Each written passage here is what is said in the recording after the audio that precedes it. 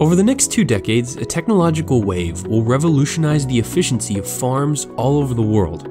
It can't come soon enough. By the year 2050, the human population will be nearly 10 billion, which means we'll need to have doubled the amount of food we now produce.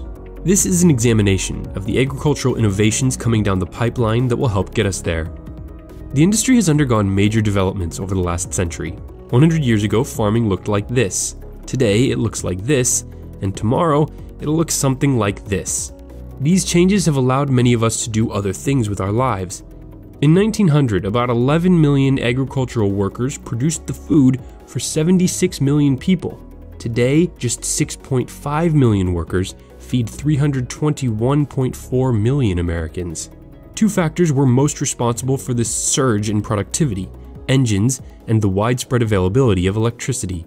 Today, the innovations on our immediate horizon include autonomous pickers. UK researchers have already created one that gathers strawberries twice as fast as humans. The challenge will be creating robotic pickers that can switch between all kinds of crops robots or drones that can precisely remove weeds or shoot them with a targeted spritz of pesticide, using 90% less chemicals than a conventional blanket sprayer. For the organic farmer, they could zap the weeds with a laser instead. This could have a big impact. The UN estimates that each year, between 20 and 40% of global crop yields are destroyed by pests and disease. Tiny sensors and cameras will monitor crop growth and alert farmers on their smartphones if there's a problem or when it's the best time to harvest. The BoniRob can take a soil sample, liquidize it, then analyze its pH and phosphorus levels all in real time. As a proof of concept for all this autonomous farming technology, researchers at Harper Adams in the UK plan to grow and harvest an entire hectare of barley without humans ever entering the field. Companies like Agribotix have already commercialized software that analyzes drone captured infrared images to spot unhealthy vegetation. Then, like a real life game of Sim Farmer, the grower is alerted on their device when a troubled area is identified. Machine learning is regularly improving the system's ability to differentiate between varieties of crops and the weeds that threaten them. Not to be left out, a company called Mavrx contracts 100 pilots to fly light aircraft that are outfitted with multispectral cameras on data gathering missions over large farms throughout the country. For an even wider view, Planet Labs operates a fleet of CubeSats that take weekly images of entire farms from space to help monitor crops. Other companies are creating analytics software to act as farm management systems, allowing growers of all sizes to deal with this new tsunami of data. And the Farmers Business Network combines data from many farms into one giant pool to give its members the power of macro level insights that have traditionally only been available to corporate mega farms. Vertical farms are essentially warehouses with stacks of hydroponic systems to grow leafy greens. They're sprouting up in cities all over the world where fresh produce and land is scarce. The key obstacle here is the cost of energy and the toll using a lot of it takes on the environment. The upside is that artificial lights and climate controlled buildings allow crops to grow day and night year round, producing a significantly higher yield per square foot than an outdoor farm. For now, though, only expensive leafy greens like lettuce or herbs like basil have proven profitable in the vertical system. And the jury is definitely still out on whether this is truly an environmentally friendly technique. One possible solution is to use blue and red light wavelengths to optimize photosynthesis and turbo boost growth, a technique tested by researchers at Project Growing Underground, an experimental farm operating in old World War II bomb shelters underneath London. Another advancement in indoor farming is the Open Agriculture Initiative, which aims to create a catalog of climates so temperature and humidity can be set to recreate the perfect conditions for growing crops that would normally come from all over the world locally instead. This is an attempt to tackle the food miles issue. When produce is shipped around the world, it creates unnecessary CO2 emissions. Just look at where a few of the items you'll eat today were cultivated to understand how big of a problem this is. The millions of people entering the middle class every year in developing countries are demanding tens of millions of pounds of additional meat. These ideas aim to get the most from every animal. Who would have thought Fitbits could be for livestock too? Cows are being fitted with smart collars that monitor if they're sick or if they're moving around more, which is a sign of fertility. Researchers at Scotland's Rural College are analyzing cow breath. Exhaled ketones and sulfides reveal potential problems with an animal's diet. Thermal imaging cameras spot inflamed udders to provide earlier treatment to combat a bacterial infection known as mastitis, one of the costliest setbacks in the dairy industry. 3D cameras quickly measure the weight and muscle mass of cattle so they're sold at their beefiest. Companies have even begun positioning microphones above pig pens to detect coughs, giving sick animals the treatment they need a full 12 days earlier than before. Less antibiotics are used if fewer animals become ill for shorter lengths of time. And a system of just three cameras developed by researchers in Belgium tracks the movement of thousands of chickens to analyze their behavior and spot over 90% of possible problems. Here's a stat that I found eye opening consumption of farmed fish has now surpassed our consumption of beef, and researchers are working to increase the types of fish that are raised. Aquaculturists at the Institute of Marine and Environmental Technology in Baltimore are developing an artificial ecosystem that mimics ocean conditions so that saltwater fish farms can be built inland. This would allow millions of landlocked people to be able to enjoy fresh fish instead of consuming frozen fish grown or caught on the coast that have to be shipped thousands of miles in refrigerated trucks that use a lot of energy.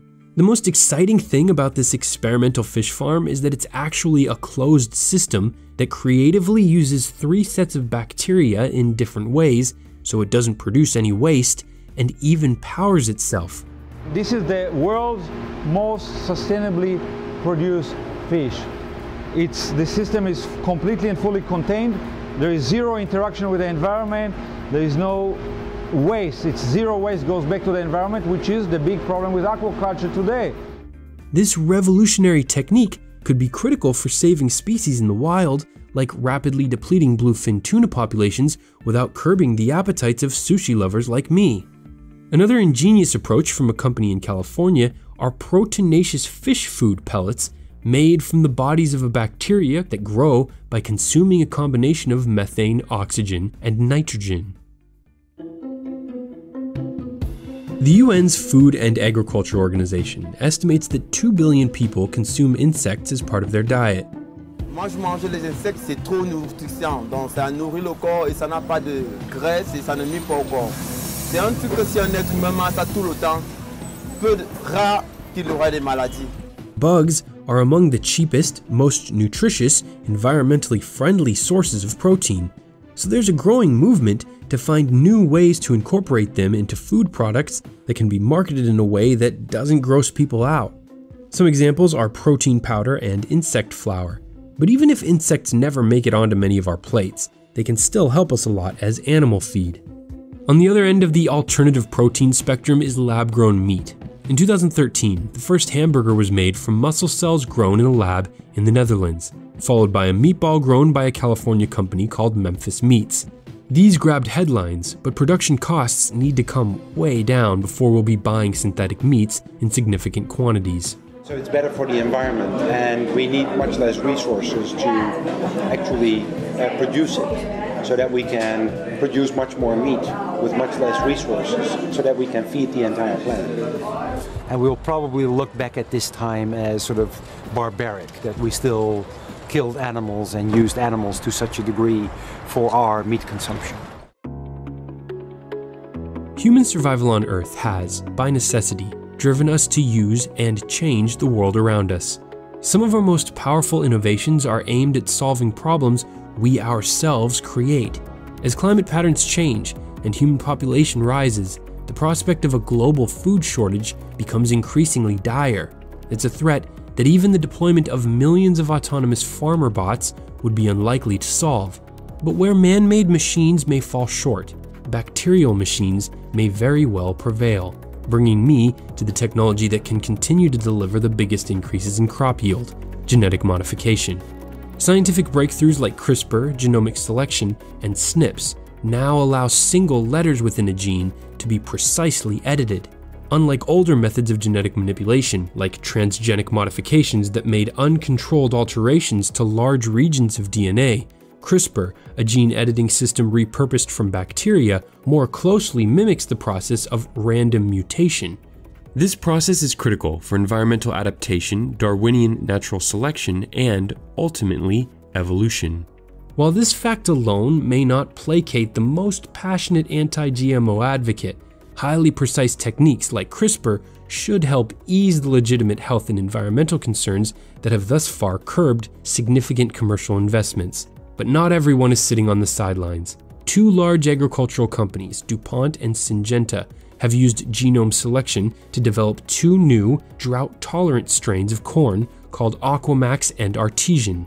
Then there's the Next Gen Cassava project, led by Cornell University in partnership with research institutes all over Africa, that aims to, quote, significantly increase the rate of genetic improvement in cassava breeding to unlock the full potential of this staple crop that's central to food security and livelihoods across Africa.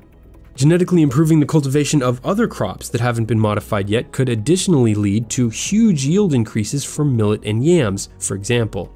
Rice, one of the world's most important crops, has seen its yield plateau, meaning that, for years now, the maximum amount that can be grown on, say, an acre of land has not increased. The C4 Rice Project, a massive global collaboration between 18 biology labs spread across four continents, is trying to change that. Their goal is to genetically engineer a new strain of rice so that its photosynthetic process works more like maize, which would, theoretically, turbo boost its yield by 50%. And of course, it's not just crops. Pig lines, for example, are being altered to make them immune to an illness that costs American farmers $600 million a year. While it's hard to predict which of these developments will have the greatest impact on food production, we should be pursuing all of them. The use of genetic technologies will, inevitably, prove essential for tackling what would likely be an insurmountable challenge, sustainably doubling our global food supply. The good news is that some of the world's most creative scientists, engineers, farmers, and innovators are working on solutions for this problem, even as you watch this video. This piece was based on articles that recently appeared in The Economist and the journal Nature, and our recent video on India's highway mega project led some of you to suggest other projects for us to look into. Your suggestions for video topics are always appreciated. Thanks for watching. Until next time, for TDC, I'm Bryce Plank.